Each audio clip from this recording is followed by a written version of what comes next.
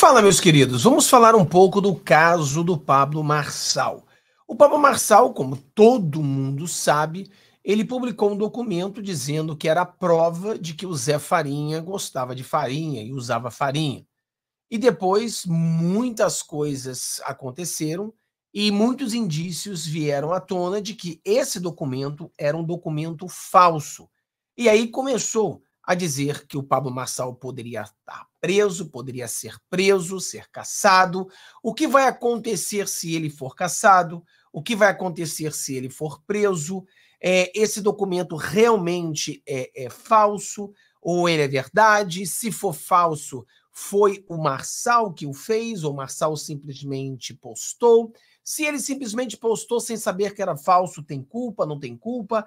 Então eu vou tentar é, deixar bem claro para você tudo o que pode acontecer. Vamos analisar um vídeo do Gustavo Gayer, um vídeo também do Constantino. O Constantino quebra o pau com o Tarcísio uma vez com todas. Eu não sei se você é, concorda com ele ou discorda dele, né? Tem alguns pontos ali que eu concordo e alguns pontos que eu completamente discordo dele. Mas vamos falar sobre tudo isso. Se você não está inscrito no nosso canal ainda, inscreva-se no nosso canal, dá o seu joinha, vamos alcançar o maior número de pessoas possível, porque nós temos um Brasil para salvar. Precisamos salvar esse Brasil e o negócio está feio, porque com essa distração toda que nós tivemos, nós perdemos a oportunidade de impeachment o Alexandre de Moraes.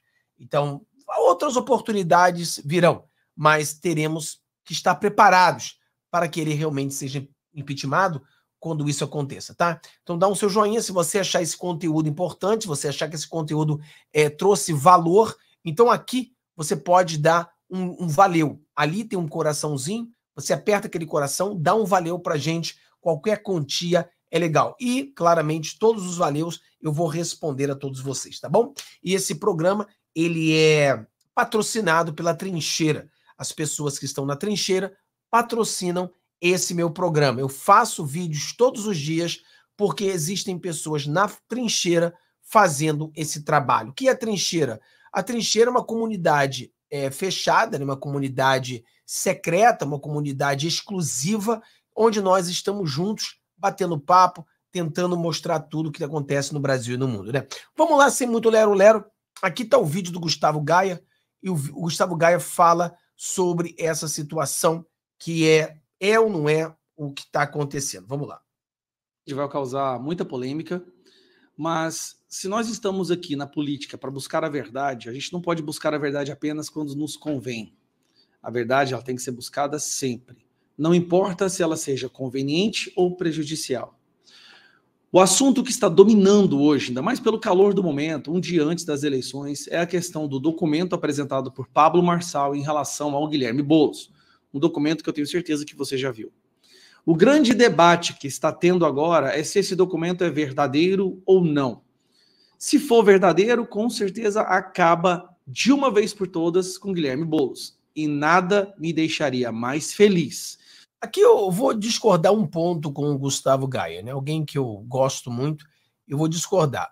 O Boulos não estaria acabado por as pessoas saberem que ele é um usador de farinha isso não iria derrotar ninguém da extrema esquerda. A extrema esquerda sabe e, e, e desconfiam disso. Então eu discordo desse ponto, tá? Eu não acho que se isso fosse verdade, iria destruir nada. Eu acho que, na verdade, é por isso que questionamos se realmente foi um tiro no pé. Porque se for de verdade, muitas pessoas acreditam que o Paulo Massal já teria ganhado essas eleições. Então, para que fazer isso? Se você já ganhou, para que fazer isso? Para quê? Essa é a pergunta, né? Outras pessoas acreditam que ele já estava no segundo turno. Se está no segundo turno, para que fazer isso? E mais uma vez, isso não iria destruir o Boulos. Mas isso aí é minha opinião. Tem gente que acha, não, Fábio, as pessoas de esquerda são coerentes. Ele vai ver uma pessoa que apoia a droga. Pessoal, o cara é invasor de terra, o cara é um comunista, o cara, ele sempre propôs negócio de, de legalização de droga, tudo isso. Como é que esse cara, as pessoas vão mudar? Por... Ah, pelo amor de Deus, pessoal, vamos abrir a cabeça. Guilherme Boulos sendo acabado politicamente, aniquilado politicamente. Uma pessoa que até mesmo o pessoal do PSOL teria vergonha de se aproximar. E nada me põe mais medo do que ver Guilherme Boulos na prefeitura de São Paulo. Sinceramente, qualquer outra opção é melhor do que Guilherme Boulos na Prefeitura de São Paulo. Mas, se a gente busca pela verdade, essa busca tem que acontecer não só quando nos convém, mas também quando você pode estar instigando a ter raiva das pessoas que te acompanham. Então, se você está procurando um vídeo militante para corroborar aquilo que você quer que seja verdade, eu te aconselho a parar agora de assistir e ir para o seu próximo vídeo. Mas vamos lá. Ontem, Guilherme Boulos postou nas suas redes sociais e imediatamente viralizou esse laudo, né, esse receituário que você está vendo aqui. Esse receituário, eu passei desde ontem à noite até agora analisando cuidadosamente, vendo especialistas, o que, que especialistas, pessoas da família desse médico tinham para dizer. E, obviamente, uma coisa eu quero deixar bem claro: eu não formo a minha opinião com a imprensa ou com o que sai na imprensa militante. De forma alguma. A minha reação instintiva quando algo sai na imprensa militante é ficar do outro lado. Mas agora vamos falar sobre esse laudo. Primeiro, uma das poucas da parte da imprensa que eu confio é a Revista Oeste. E a Revista Oeste publicou isso aqui. Ó. O que se sabe sobre o suposto laudo do uso dessa substância por bolos? Marçal divulgou o documento à noite dessa sexta-feira, logo depois da publicação saiu do ar. Vamos lá. A publicação aí fala aqui, ó, esse laudo contém incongruências como no logotipo da clínica. Esta se chama mais consultas no plural, quando no documento divulgado pelo candidato do PRTB está mais consulta. Então vamos ver aqui, ó. Está vendo essa logo? O nome da clínica mesmo é Mais Consultas. Aqui apareceu apenas Mais Consulta. Beleza, pode ter sido um erro é, de cópia de logo, pode. Isso não quer dizer muita coisa, mas vamos continuar. Além disso, o RG do Boulos está errado, com um número a mais do que o registro oficial. Vamos ver. O RG do Boulos, que é esse aqui, ó. Esse RG do Boulos está com um número a mais. Né? 34. Realmente tem um número a mais aqui. Pode ter sido um erro qualquer? Pode. Na hora da, da, da, da enfermeira, secretária, sei lá, ter colocado no documento, ela pode ter cometido um erro. Isso é possível? É possível. Vamos analisar o próximo. Erro de gramática. Aqui é onde que a coisa pega. Nós temos aqui, ó, por minha atendido. Ao médico psiquiatra, caminho o senhor Guilherme Boulos, por minha atendido. Deveria ser por mim atendido. Essa data. Então, essa parte ficou meio estranho. Ó, oriento que o acompanhante, que o acompanhante, que o mesmo deve ser, deva ser, oriento, deva, aqui está errado também no português, Aí fica estranho, porque o médico errar no português dessa maneira realmente levanta suspeitas. Outros dois fatores que dificultam a comprovação da veracidade do documento, como a falta do carimbo médico e a forma como o quadro médico do opcionista está descrito. Então, sim, ele está descrito de uma forma que não é muito do, assim, do jargão médico, vamos dizer assim, né? Confusão mental, episódio de agitação, então, assim, não, não é exatamente o que os médicos usariam. Uh, esse tipo de inscrição ocorre apenas em caso de transferência. É, aqui você vê uma das coisas que ele bota aqui, eu acho que é talvez mais importante do que o erro do português, né? É a, a simplificação. Um médico normalmente ele não fala de forma tão simples, né? É como se eu estivesse escrevendo, né? Eu, eu falando com meu português quebrado e escrevendo ali. Então é, é complicado, tá? É complicado. Isso aqui são mais indícios de que o documento é falso disciplinar quando o paciente migra de um setor para outro dentro do próprio hospital. Não consta essa informação no documento. Aqui não tem essa informação no documento da, da, trans, da transposição dele, né, de um lugar para o outro. Vamos lá. O médico morreu em 2022. Beleza. Mas em 2021 ele poderia ter atendido o Boulos. Tranquilo, isso não quer dizer nada. Mas aí vem a parte que suspeita, é a assinatura. Vamos lá. Reparem na assinatura que você está vendo aqui. Essa é a assinatura do documento. O que eu vou mostrar para vocês agora é outra documento com assinatura desse mesmo médico. Essa daqui é a assinatura real do médico, como vocês podem ver. Essa aqui é a assinatura do médico, o documento. São assinaturas diferentes. E aí vem, ó. Secretária diz que médico nunca trabalhou em clínica citado por Marçal contra Bolos. Aquela assinatura não é dele, compare. Yolanda Rodrigues trabalhou com José Roberto de Souza, cujo CRM aparece em documento por mais de três décadas e enviou o certificado assinado pelo antigo patrão, que mostra grafias diferentes. Então, a, a secretária que trabalhou com ele durante 30 anos diz que essa assinatura é a dele e que a assinatura que está no documento não é. Bom, aí sim você tem uma prova é, palpável de que algo está muito estranho. Pode ser que pessoas mudem de assinatura? Acontece. Muitas eu mesmo já mudei de assinatura quando eu era adolescente para agora. É, eu também já mudei de assinatura, eu acho que todos nós aqui já mudamos, é, mas realmente começa a surgir é, indícios, né? Porque você mudou de assinatura de muitos anos para cá. Quando você era de adolescente para um adulto, quando você era de criança para adolescente. Mas normalmente, como você já é um adulto, você já é um profissional, dificilmente as pessoas mudam as suas assinaturas. Mas tem mais coisas ainda. Vamos lá. Aqui nós estamos falando de um, de um médico que já estava numa idade, assim, já era um médico há muito tempo, né? Exato. E 2000, em 1996, como vocês podem ver a data aqui, a assinatura dele é essa. Tá, mas e aí vem a outra questão, e a filha dele postou isso aqui. Essa assinatura é a assinatura da filha dele, que ela tatuou no, no próprio corpo. Ou seja, a filha tatuou a assinatura no próprio corpo. Você pode ver a semelhança dessa assinatura aqui, é. que está no documento, Realmente. com a assinatura que a filha tatuou no próprio corpo. Exato. Olha como são assinaturas diferentes. Exato. Quando você pega a assinatura do, da, da a tatuagem e a assinatura que o secretário mostrou, elas são bem parecidas. E já essa nova, essa nova assinatura, ela é completamente diferente são assinaturas muito diferentes. Então nós temos essa situação até agora. Para vocês entenderem, tá errado a logo, não tá no plural. Erro de português aqui. Depois, erro, mais erro aqui também. Nós temos um número a mais no RG e a assinatura que não é a assinatura verdadeira do cara. Como é que fica essa situação? Você, pessoal, é, são muitos erros em um papel. São muitos erros. E o negócio é, é, é tão cabuloso que o próprio, a própria defesa do Marçal e o próprio Marçal agora já está dizendo que ele só pegou e postou isso aí.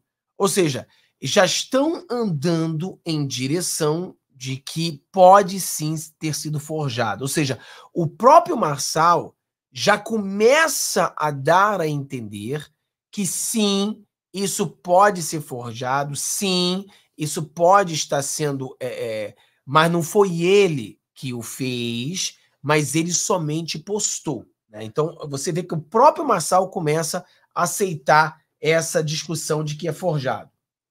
Olha a logo real, como é que ela é. A logo verdadeira é essa aqui, ó. Mais consultas. A logo que eles usaram é essa aqui mais consulta. Cor diferente, a estrela, a cruz é diferente, a falta o S, ou seja, muito complexo. Tem algo estranho? Sim, muito. Vamos ser sinceros. A minha opinião, analisando várias informações até agora, Pablo Marçal publicou um laudo falso. Sim. Aí vem a parte pior. No dia que esse laudo consta que o Guilherme Boulos estava internado, que ó, Vamos pegar o dia aqui. No dia que fala que ele foi internado, 19 de 1 de 2021, o Boulos tem live no Instagram naquele dia e no dia seguinte tem vídeos e fotos dele distribuindo comida numa região lá do, do bairro do Vietnã. E tem vídeos também e fotos de amigos do Guilherme Boulos falando que estiveram com ele naquele dia. Então, assim, é falso. Agora eu vou te explicar as consequências disso.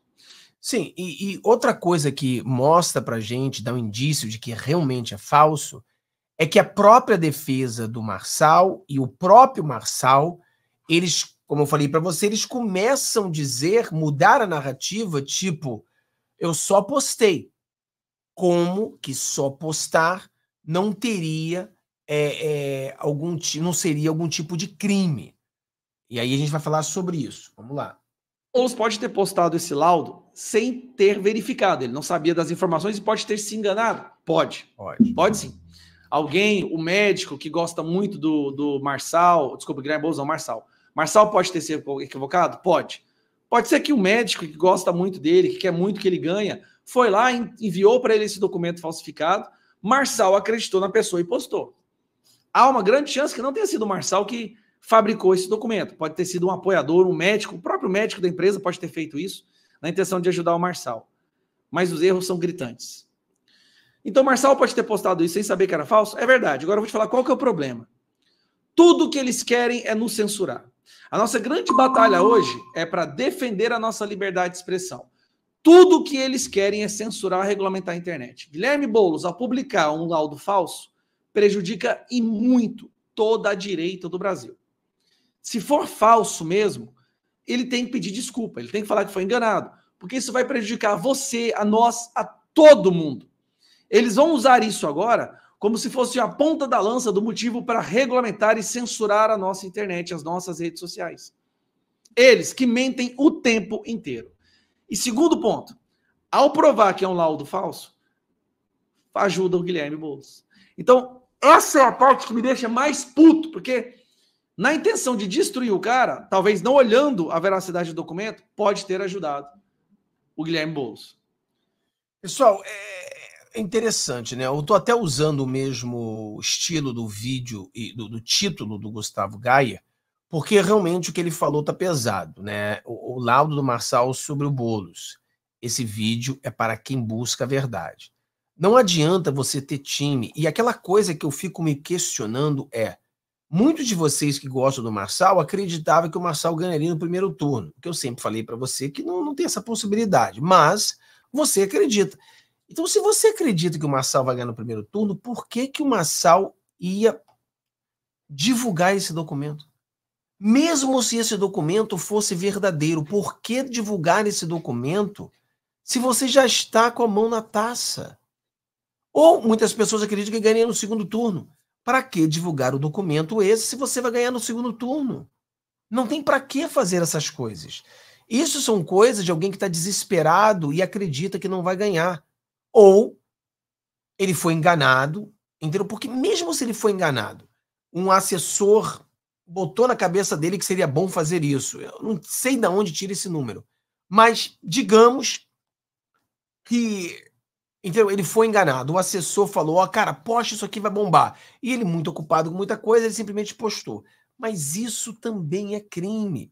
Ainda que o advogado do Marçal ele vem dizendo que, olha, isso não é crime. A pessoa pode postar uma coisa sem saber. Pessoal, eu posso é, é, repostar o que o Marçal coloca. Você pode, mas o Marçal não pode, porque ele postando isso, ele estaria se beneficiando.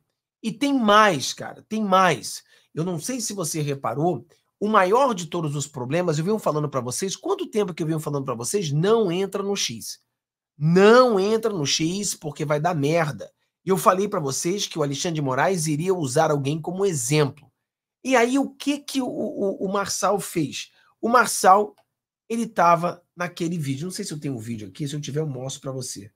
Eu mostro para você rapidinho. Ah, tá aqui, ó. Olha esse vídeo aqui. Não vou nem botar ele todo só para você ver. Até estou conversando com um amigo meu e ele falou uma coisa que me despertou. Não estava nem prestando atenção. É esse Tem vídeo aqui. Um dos partidos que realmente no seu estatuto é partido de direita. Aqui, olha o que ele fala. Você tem uma noção, no estatuto o PL não é um partido de direita. É um partido liberal, mas é um partido de centro. Hum. No estatuto o PRTB é de direita. E eu quero deixar bem claro que todos estavam é, colocando pressão para o Pablo falar isso e aquilo, eu sou a favor do impeachment do Alexandre de Moraes. Então, eu já... o Pablo Marçal vem e fala assim: eu sou a favor do impeachment do Alexandre de Moraes. Parabéns, Pablo, parabéns. Aonde que ele falou isso? Aonde foi essa live? Vai no comentário e coloca ali. Aonde é que foi essa live transmitida? Aonde? No X. Aonde está o Pablo Marçal? No Brasil todos os brasileiros foram proibidos de usar o X. Se nenhum outro político está usando o X e o Massal está usando o X, então isso aí lhe traz uma vantagem, suposta vantagem. E isso aí já é outro crime que eles vão tentar colocar na cabeça dele. E eles vão tentar pegar o Marçal e usá-lo como exemplo, boi de piranha. Então nós estamos numa situação muito complexa, muito complexa mesmo.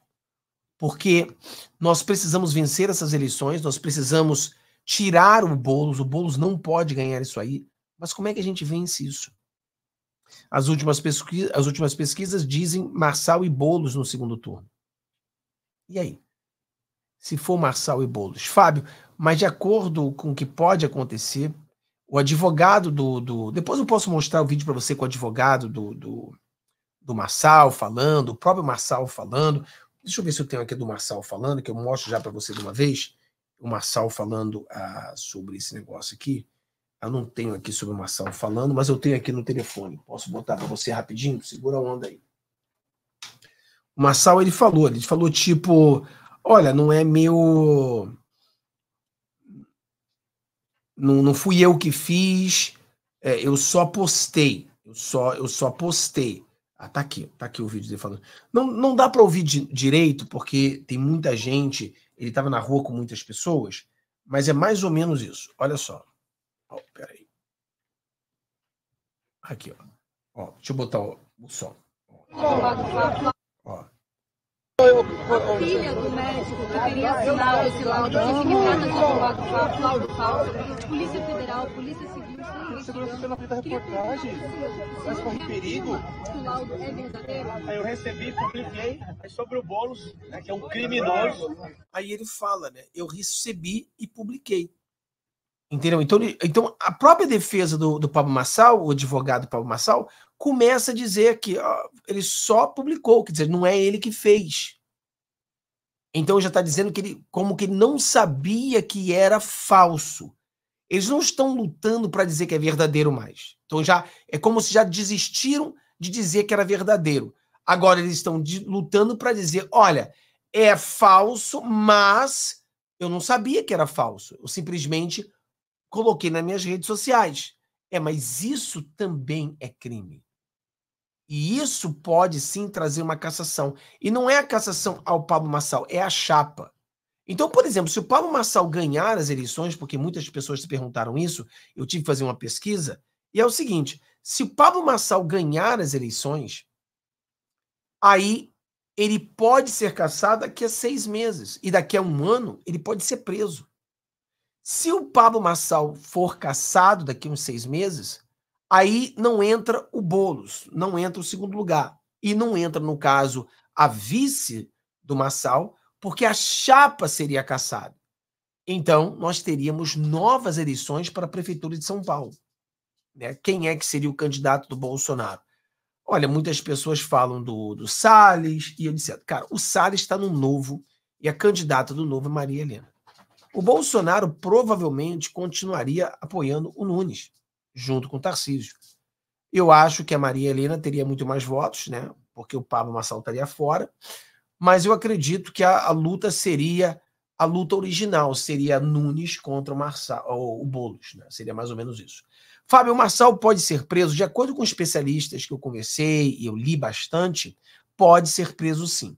Mas essa prisão não aconteceria agora, essa prisão seria daqui a um ano, um ano e meio, dois anos. Então seria algo que poderia acontecer, mas iria demorar muito mais. Né?